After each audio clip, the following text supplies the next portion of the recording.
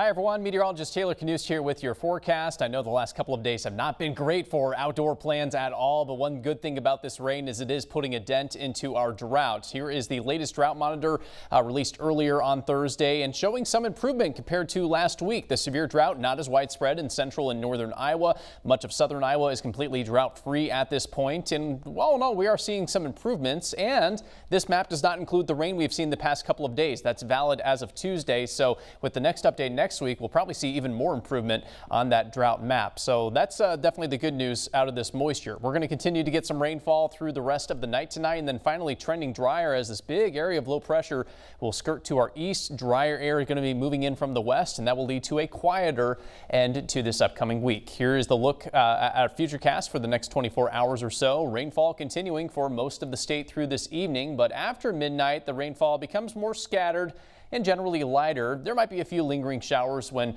a few folks step outside on Friday morning, but I would say by mid to late morning that rain should be out of here. Cloud cover is going to stick around through the afternoon and then finally that cloud cover will clear out by late in the day on Friday through Friday night. Additional rain from uh, Thursday evening through Thursday night, maybe up to a half inch in a couple spots. Most of us not even that much, so things are beginning to wind down after a couple of wet days. The wind is going to be a problem tonight. We're talking north winds that could gust the 35, maybe even 40 mile per hour range overnight through the first part of the day on Friday. So that might be your biggest complaint when you step outside on Friday morning.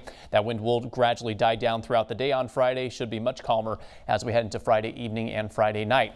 Temperatures slightly improve on Friday due to at least a little bit of sun late in the day, but still only getting to the low 50s for most of us on Friday afternoon. 52 in Des Moines and 51 the forecast high in Ames. Saturday will be the day to get outside with sunshine and better looking temperatures, plus the wind is going to be much calmer. Forecast high of 60 in Des Moines, 59 in Creston, 61 in Carroll. Sunday, Halloween looking a little cooler, but we should still be mostly sunny with highs in the upper 40s to the low 50s. Now that is a sign of things to come next week. We are going to be quite a bit colder next week. A big cold air mass moving out of Canada is going to move into much of the central and eastern United States, and it's going to plant itself there most of next week, which means we are going to be seeing the coolest air of this season so far. Here are your forecast lows next week in Des Moines, and as you can see, many, if not most, of those nights will be near or below freezing, and we could even get a hard freeze there late next week.